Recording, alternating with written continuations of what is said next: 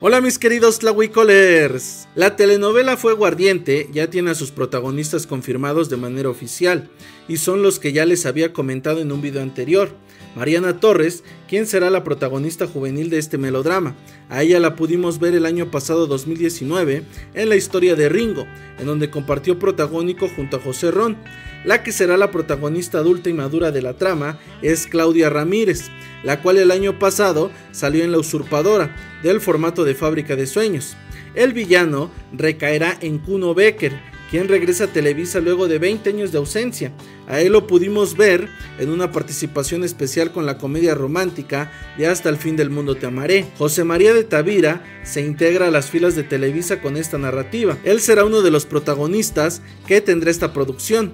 A él lo acompaña Carlos Ferro, quien también será uno de los estelares. Él estuvo activo en el 2019 con la serie de Los Elegidos, en donde compartió créditos con Sara Maldonado y Macarena García Romero. La última es la antagonista, quien será Claudia Martín. Ella estuvo activa este 2020 con la comedia romántica Como tú no hay dos, al lado del comediante Adrián Uribe. Esta telenovela es original de las escritoras Marta Carrillo y Cristina García.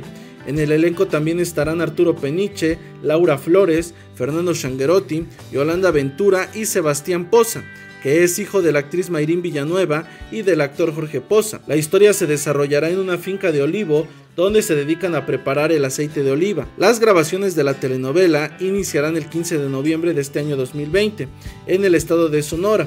Los capítulos que tendrá serán 97 y tiene como fecha de estreno el primero de febrero del próximo año. Su horario será el vespertino, el de las 6.30 de la tarde. Dime, ¿te gusta el elenco que se formó y qué te parece que sea una historia original? Cuéntame tu opinión en los comentarios. Y antes de irme, no te olvides de activar la campanita de notificaciones para que te avise cuando suba nuevo video y estés al pendiente de tus series y telenovelas favoritas que se empiezan a grabar durante este año 2020. Yo fui Tlahuicol el Tlaxcalteca. No te olvides comentar este video, darle me gusta y compartirlo, así como seguirme en todas mis redes sociales para que te mantengas informado y actualizado de todas las noticias que subo diariamente. Hasta la próxima.